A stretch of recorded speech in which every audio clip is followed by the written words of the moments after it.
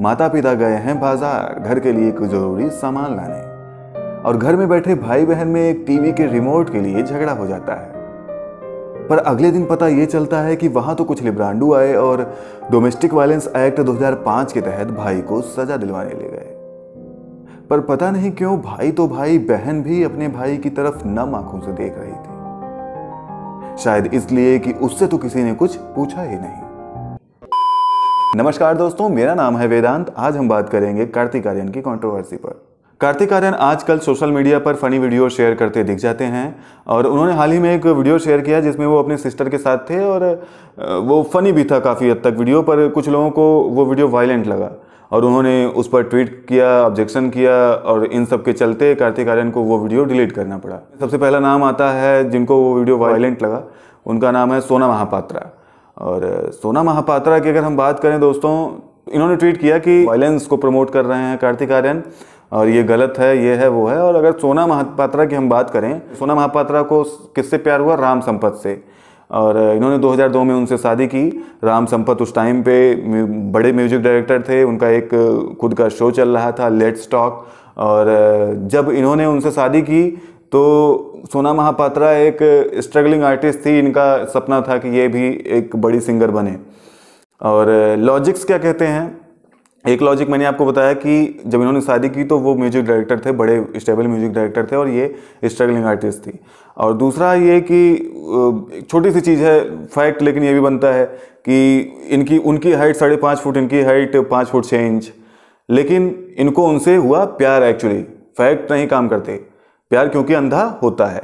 और अब हम बात आगे करते हैं कि ये अक्सर ये जब से आई, ये जिसके लिए इन इन्होंने इतना सब कुछ किया, वो तो कभी सक्सेस हुई नहीं, क्योंकि ये इतनी बड़ी सिंगर नहीं बन पाई जिनका इन्होंने इतना सपना देखा था और जिसके लिए ये सब कदम उठाए थे।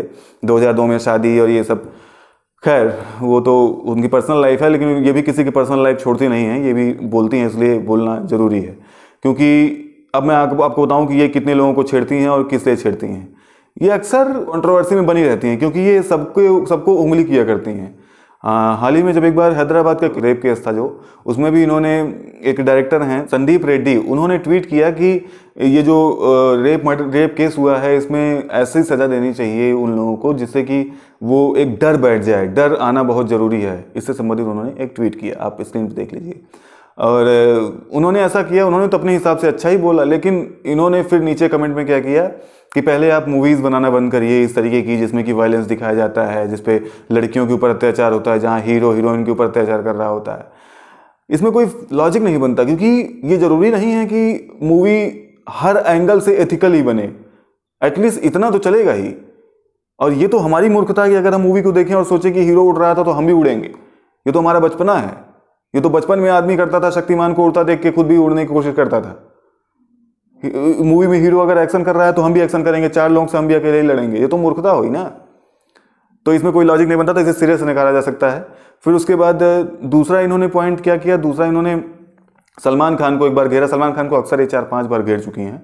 सलमान खान जब भारत मूवी बनने वाली थी और भारत मूवी में से प्रियंका चोपड़ा के निकलने की खबरें आई। अब प्रियंका चोपड़ा निकली इस वजह से क्योंकि उनको शादी करनी थी, वो शादी करने चली गई। और, लेकिन इन्होंने बात को अपने एंगल से घुमा लिया और सलमान खान के ऊपर लगी निशाना साधने। और इन्होंने ये भी कहा कि सलमान खान पेपर टाइगर हैं, भारत भारत मूवी उस तरीके की कमाई नहीं कर पाई। अब हाल ही में देखिए, कार्तिक आर्यन के ऊपर एलिगेशन लगा दिया और चर्चा में आ गई। ये हमेशा जब एक टाइम पीरियड के बाद खुद को ज़िंदा है तो ज़िंदा होने का सबूत अक्सर ये देती रहती हैं। इस डायलॉग को उन्होंने दिल पे ले लिया है। अब हम बात करते हैं कि जो इन्होंने एलिगेशन लगाए, उनके बारे में क्या जवाब लोगों के आए और कितनी इनकी धज्जियाँ उड़ी? इन्होंने संदीप रेड्डी को इस तरीके से जवाब दिया, लेकिन संदीप रेड्डी ने इन्हें फुल्ली इग्नोर कर दिया। जैसे ये कोई मतलब ही ना रखती, मायने ही ना रखती हूँ। और कमेंट में तो गालियाँ इनको अक्सर मिलती रहती हैं, वो उसका तो क्या बात, क्या ही बात करना। दूसरा ये कि इन्होंने सलमान खान को कहा कि वो पेपर टाइगर हैं, क्योंकि उनकी मूवी कमाई नहीं कर पाई, जबकि इतना उनका नाम है, इतने ज़्यादा मूवी में पैसे लगे, सब कुछ होते हुए भी वो अगर उनकी मूवी भारत कमाई नहीं की तो वो पेपर टाइगर हैं। और जबकि दूसरी तरफ़ एक रिपोर्ट ये कहती है कि साल 2019 में सबसे ज़्यादा कमाई करने वाली पिक्चर भारत ही थी।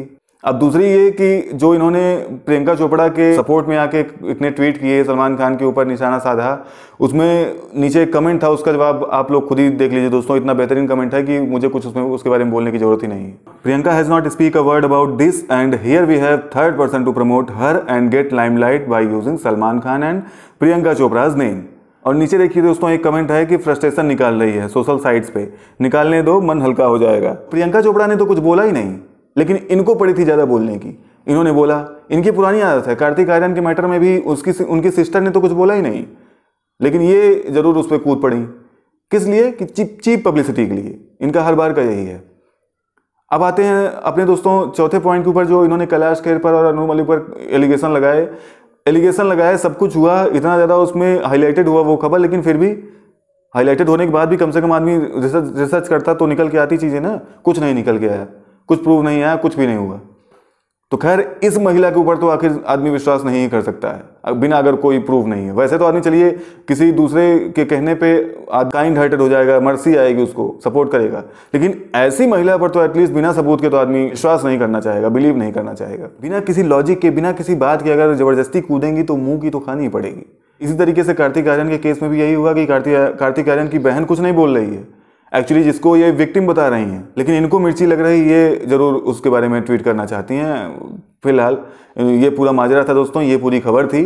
खैर, मेरा तो यही मानना है दोस्तों कि ऐसी चीप पब्लिसिटी से अच्छा है कि आदमी अपनी मेहनत से कुछ नाम कमाए ऐसे दो दिन ये चर्चा में रहेंगी, फिर दो महीने, चार महीने गायब रहेंगी, फिर दो दिन चर्चा में रहेंगी, फिर चार महीने गायब रहेंगी। इससे अच्छा है कि आदमी खुद की मेहनत पे नाम कमाने की कोशिश करे, ऐसे चीप पब्लिसिटी से नाम ना कमाए।